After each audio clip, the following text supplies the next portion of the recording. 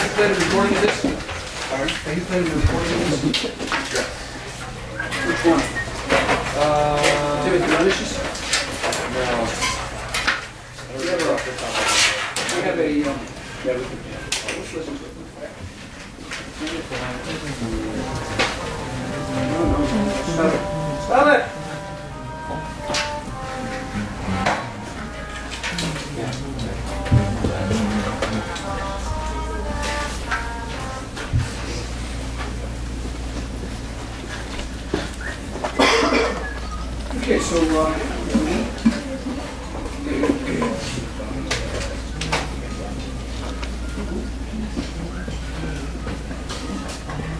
okay, I'm gonna play you a recording of a, of an ensemble.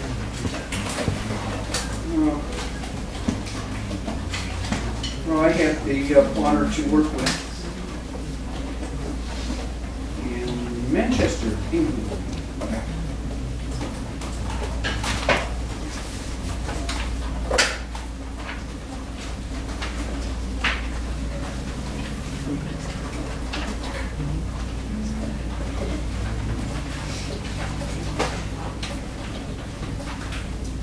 Sorry, guys, this is really important.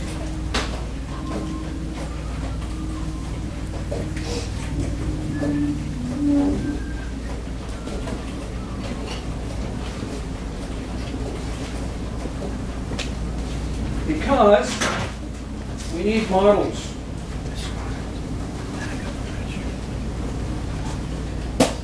Models, models, models, models.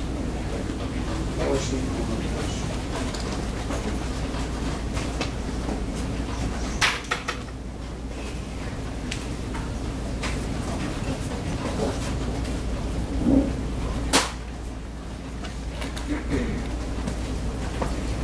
Oh, since we need one, well, let's see if we can find one. Where the heck did it go?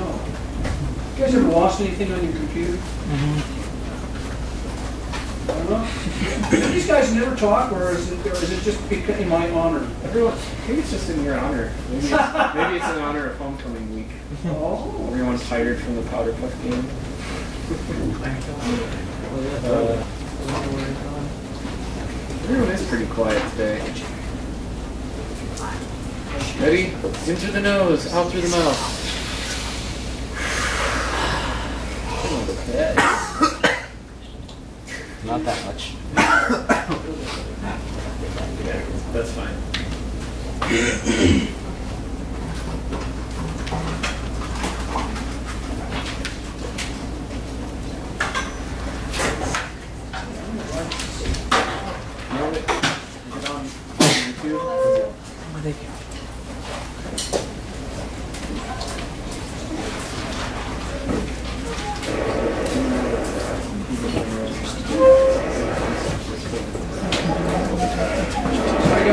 Will find this, and if I can't find it, we'll do it out, but I wanted to play this for you, and I...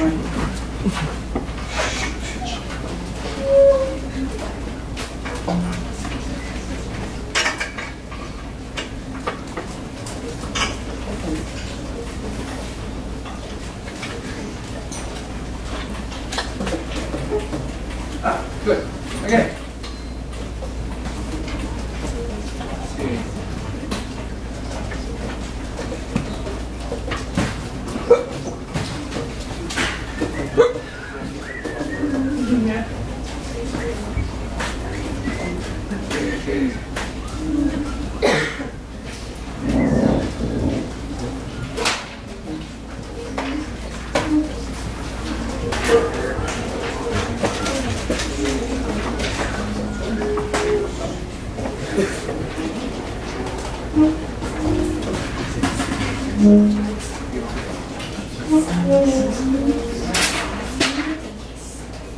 Okay, well, let's play it first. How many times you played this? A few times? So it's not new. Okay, here we go.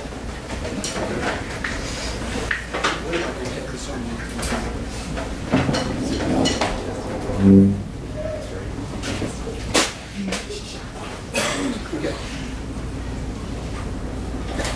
Okay.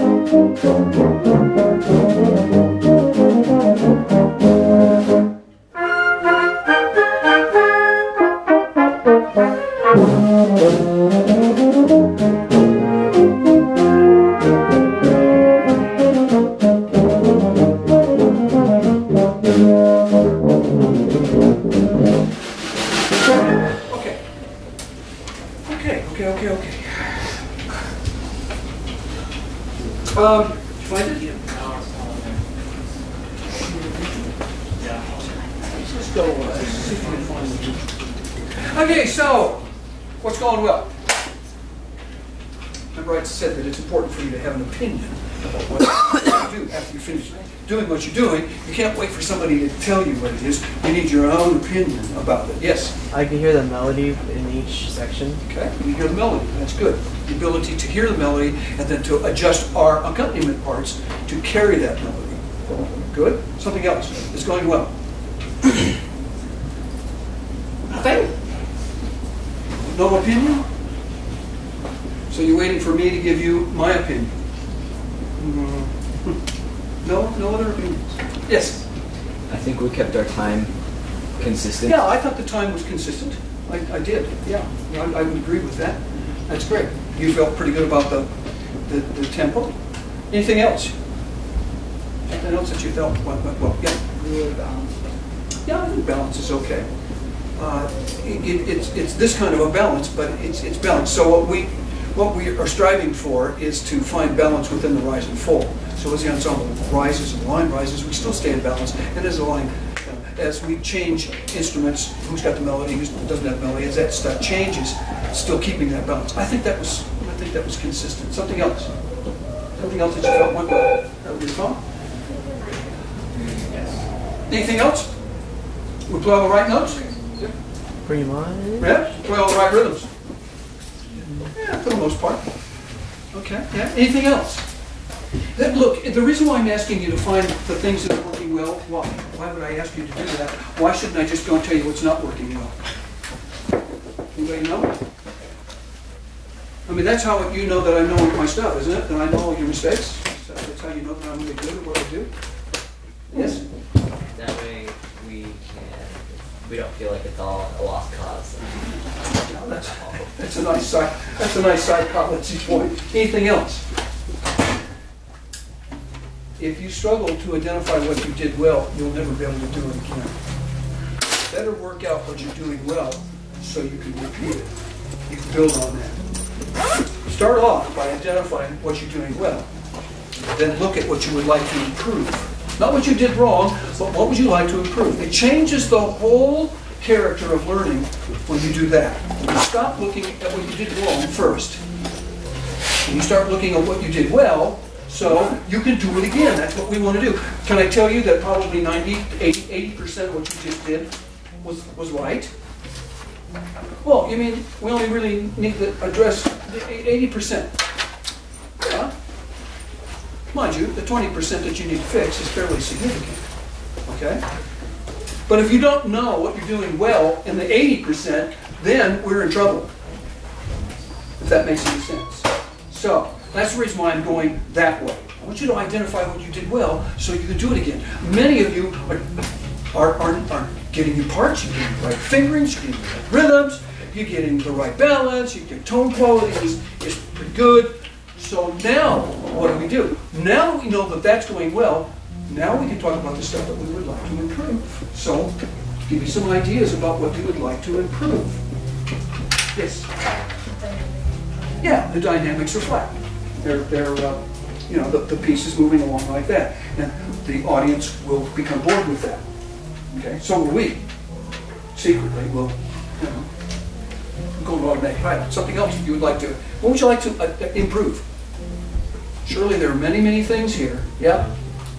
Um, Yeah, I, yeah, I, that's, that's something, there, there are many more serious things that we should address for a, a piece of music that demands professionals to play this stuff. Yes? Getting all the accents correct, like staccato, Yeah, legato. That's inter, yeah, that's interpretation, getting the legato versus the staccato versus the tenuto versus the accents, the marcatos and all that stuff, that's, that's right. What else?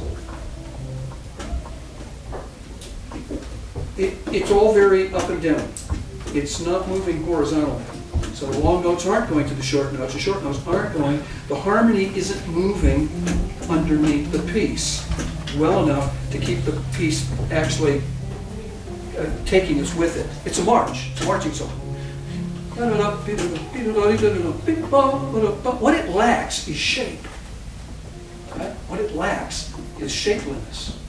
What it lacks is this engagement with the actual lines, which are doing this.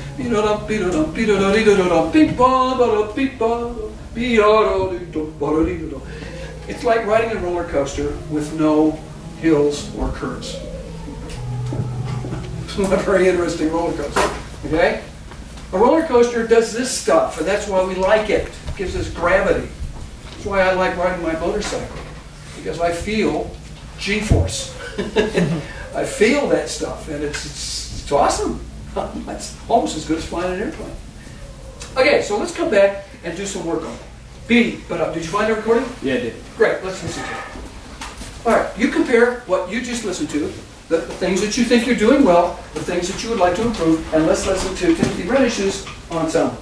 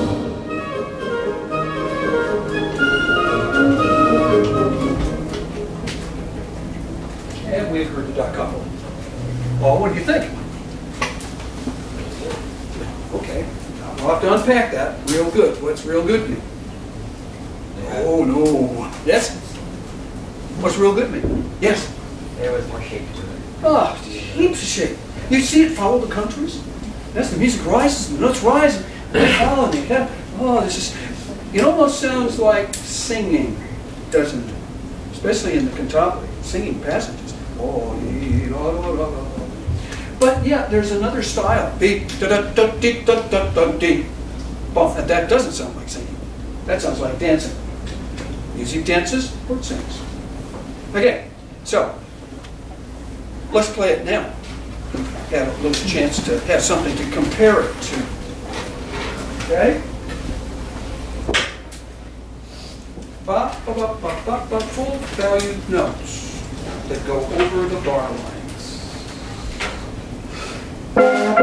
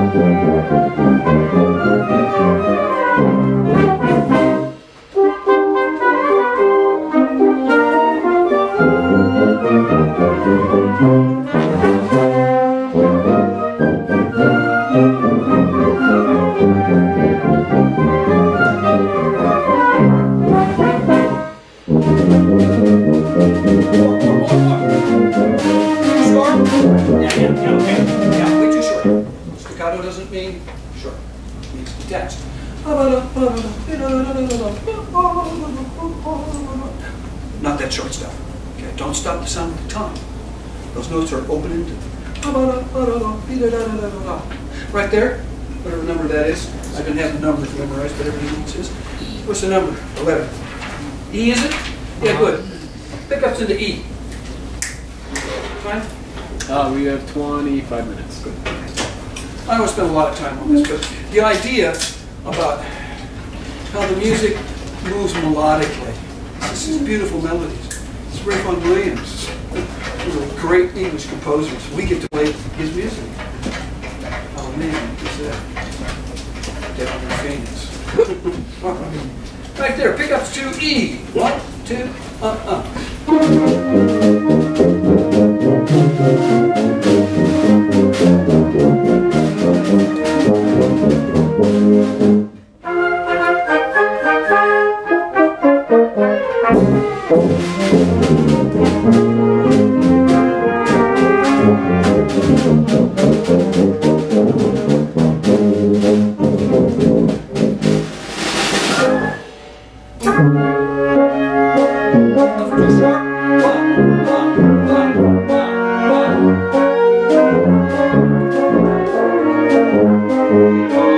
We'll be right back.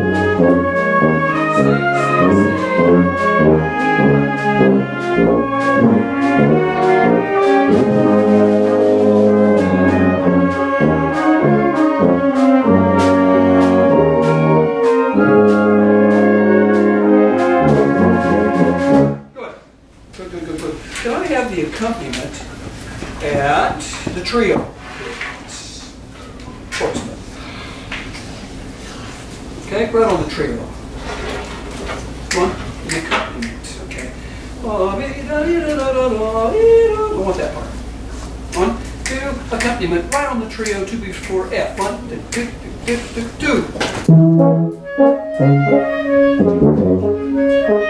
Okay. Okay, Julius, you're gonna have to be more accurate with this. Okay? It's more accurate. That's why we practice scales, and why we do more mm-hmm. lip slurs and long tones and all that stuff. Okay, let me have that one more time, please. Same people, same place. Two, one, and two.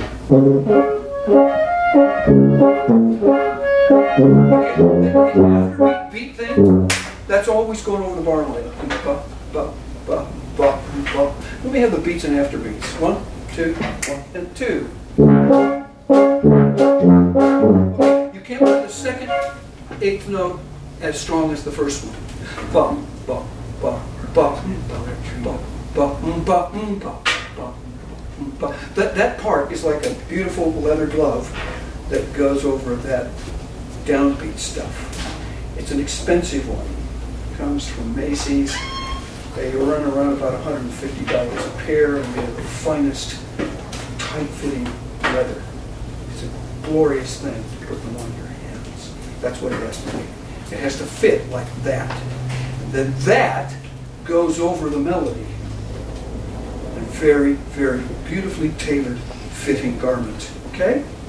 That's how that accompaniment thing works. So let's have the beats and after beats first. One, two, ba, ba, ba.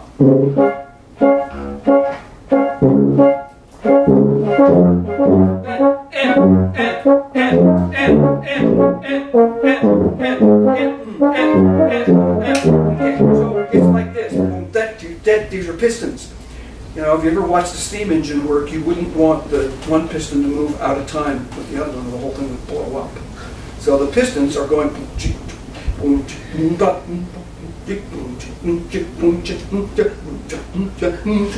Steam engine keeps going over all the waves. The waves are doing this and this and this and this.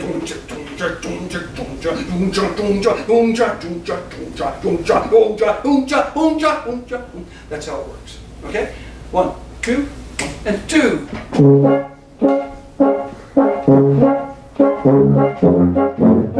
Yes,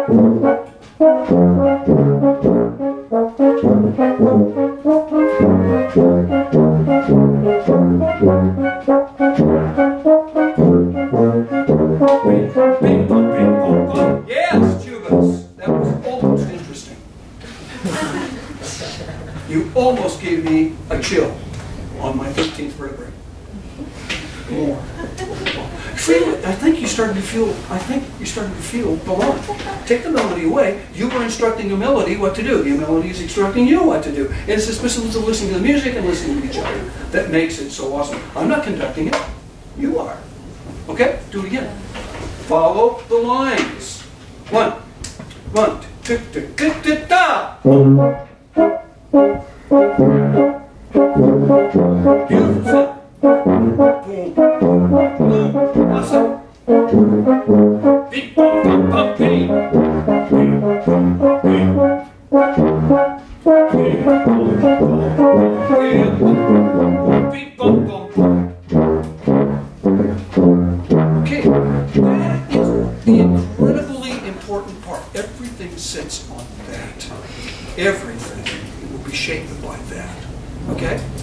that is the incredibly important part. Everything sits on that. Everything will be shaped by that. Okay? So that's how it has to work. Everybody, right there.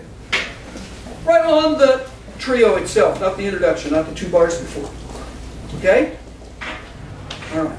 So start to do the listening thing. I'm not conducting you. All I'm doing is kind of trying to get you to feel the shape. One, two, one, and two. Yeah. Everybody's in. Everybody's in. Wait, at the trio. F. Portrait. One. This is probably the most beautiful part of the sea songs. Right here. One, two, one, and two.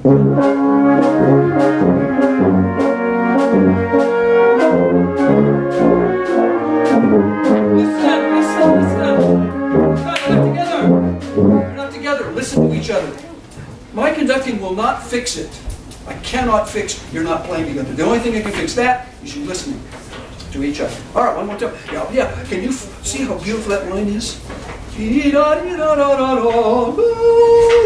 It just causes beautiful women to swoon. Awesomely beautiful handsome gentlemen to rise to heroism. Okay? Great. 19th century arrives. Here we go. One, two, letter F. One and two, tick, tick, ah.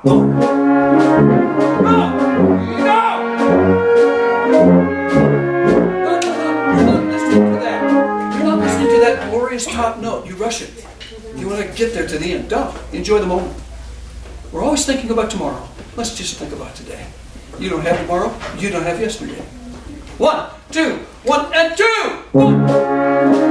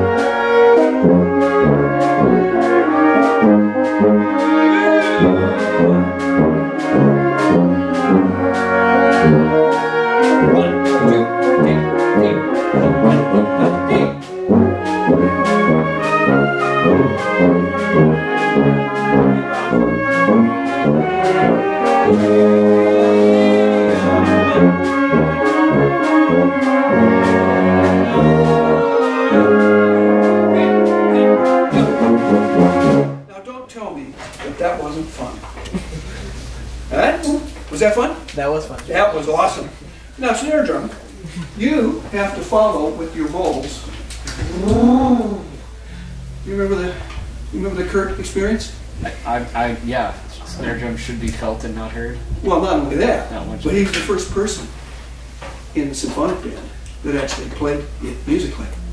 And it's Oh, snare- Kurt. Oh, Kurt. I Yeah, Kurt. Yeah. Yeah, Kurt. My first semester at his school, my first semester there, on the snare drum, following the contour with the snare drum roll, and I stopped the whole ensemble and went, holy cow, musicianship in the snare drum. My smile was that big. Okay! Now, I've tried to infuse in you my passion. and I want what I've tried to infuse you with to be yours. So you play it for me now. The trio, letter F. Exaggerate. How many people have done drama here? No? None? You should. you should. Because to get something over the stage, you have to exaggerate. If you don't think that Johnny Depp exaggerates things, then go get a life. Okay? All right. You think that uh, Mel Gibson doesn't exaggerate things, you don't get acting. You're actors. This is a script, a drama script, and you got to bring it to life instead of just reciting things. Alas, poor Yorick, I knew him well. Many a time he carried me on his back. What? Alas, poor Yorick, I knew him well. Many a time he carried me upon his back. You like that one? Of course you do. Play. Now play it like that. One. Exaggerate. Up.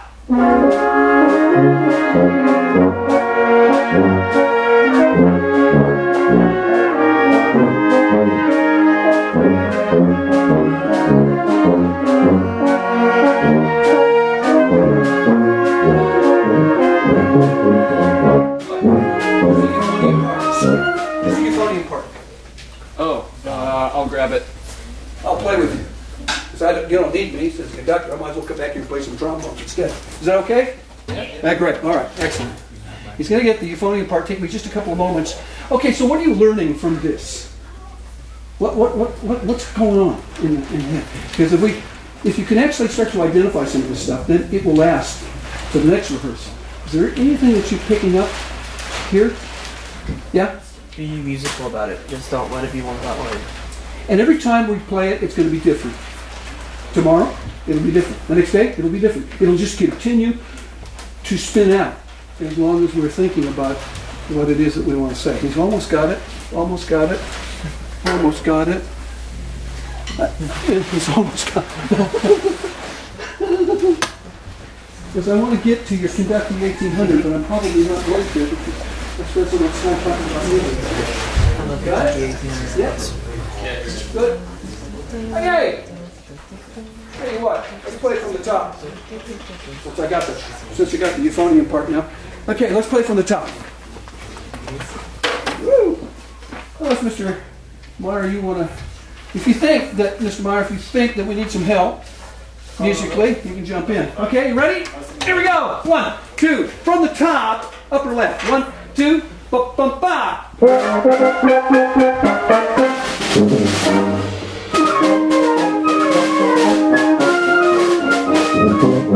Eu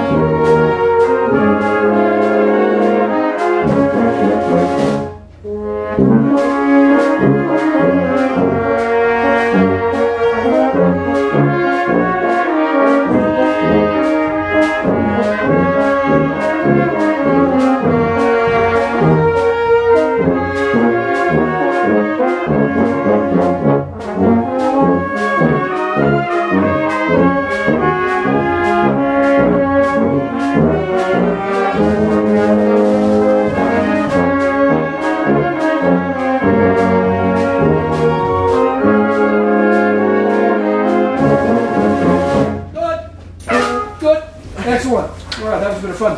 Now, so conductors, who needs them? Well, ensembles do need conductors. Uh, We gotta be able to do, we gotta be able to do the technical stuff without a conductor. Because conductors don't deal with technical stuff. No, we do technical stuff. We do, we do music stuff. So, let's go to Kentucky 1800. Thank you for giving a go. Okay? I hope that you enjoyed doing some cool things with music without being confined. Now, if you were to say that you needed to get some more technique under the fingers to make this thing happen a bit easy, what technique do you think it needs to, to get it to work a little bit, a little bit more expressive? What do you think? What technique do we still do we still need to get under our fingers? Anything? Any ideas? Don't wait for me to tell you. You, you, you know. Yes? Shape the music. Well, that's an expression thing. You have to be able to control some stuff to be able to do that. What do you think? You think uh, a better grasp of B flat major and Yeah, A yeah. flat major might help? Yeah. A little bit more of a grasp of those scales? Yeah, I think so. Arpeggio scales, F minor, D flat major, A flat major, G flat minor. Yes? Okay. Well, that's one thing. The other thing is, of course, subdivision, which makes sure your long notes actually get their full value. Okay. Well, there's some other technical things that you can deal with. Breathing will help. Mallet stuff will help. Being able to control rolls. So they're finer, they're tighter, they're more buzz-like instead of loose. Okay, Kentucky 1800 with motion. all right. Take it, you've told them all about this, the story behind this thing. Hmm? You've told them all about this, the story behind 1800. I don't know the story behind 1800 then. I don't have time to tell them the story. You look it up. Yeah. Okay. Kentucky 1800. What was going on in Kentucky in 1800? Because if you don't know that, you can't really understand what this piece is about. It's a programmatic piece of music. I haven't got time to tell you. All right? Daniel Boone, you know, all that stuff. Trappers, adventure, not Disneyland. Okay. I got three.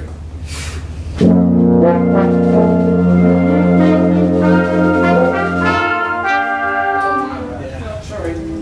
Uh, You have problem with understanding, there it is. You have a problem with understanding what these things are? What are those? No, they're not dynamics, have nothing to do with dynamics. Symbol. No, they're articulations. They're articulations. That means detached, that means a long, short note, that means lean on the note, that means sit on the note. Simply. They're how you get into silence. You guys are playing tenuto, these things, like short notes. You're playing them like those. It's like spreading that blue stuff when you're going to put a poster up against the wall and you kind of spread it with your thumb. That's what that is. Okay, leaning on the note, but not accented. Okay? So D, Do, D, D, Do. There's no short notes in here, guys. None. There's accented ones, the two new notes. Let's play. No short notes. What? D, ah.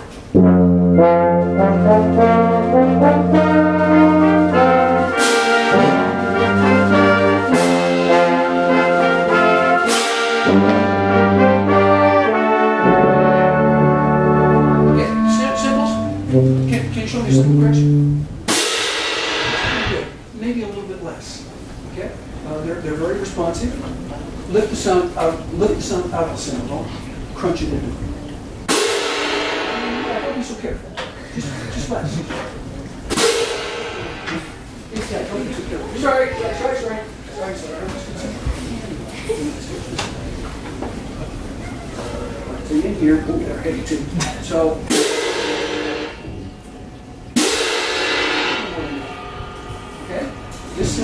Symbol. This is the cymbal that does the move. It hits and lifts. Hits and lifts. Okay? Good. Pretty good. It's just a little bit less. Okay, here we go. One, one, two, three, ah.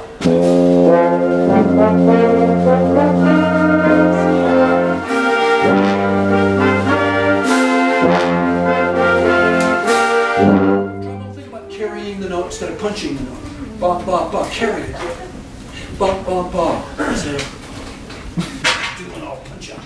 Okay, here we go.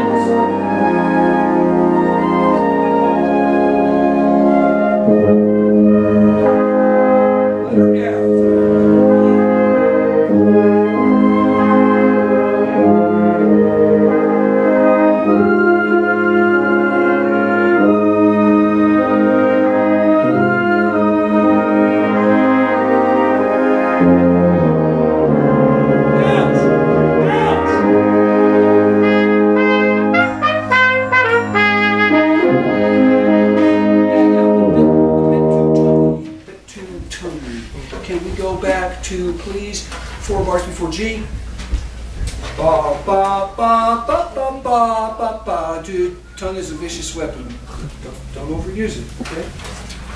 The tongue releases the air, it doesn't start anything. Letter F. How we doing, tongue?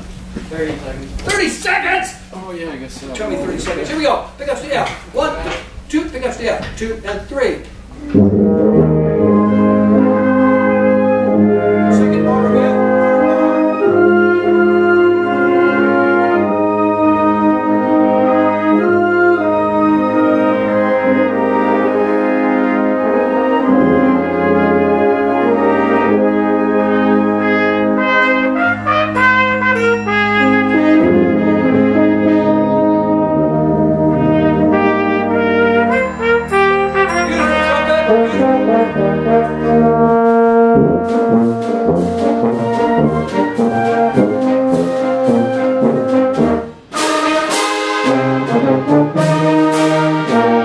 Freeze.